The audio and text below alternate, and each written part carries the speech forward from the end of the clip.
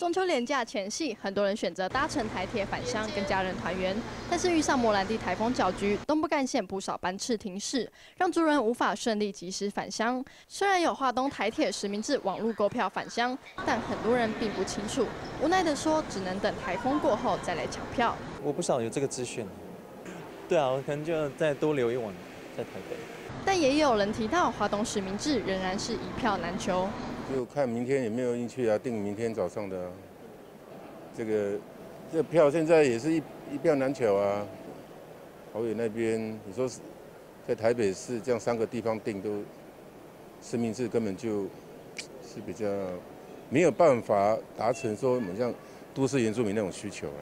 台铁受到台风影响，造成班次停驶。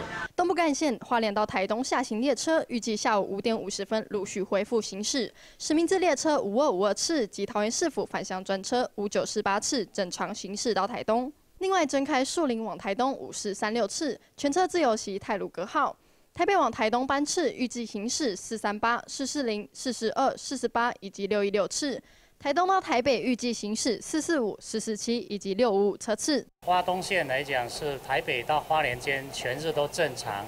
那花莲到台东的话，原则上计划是全列车全日的列车都停驶。高雄到台东间全日都行驶。那因为西部干线来讲，原则上十二点到十八点，嘉义到潮州间。都停驶。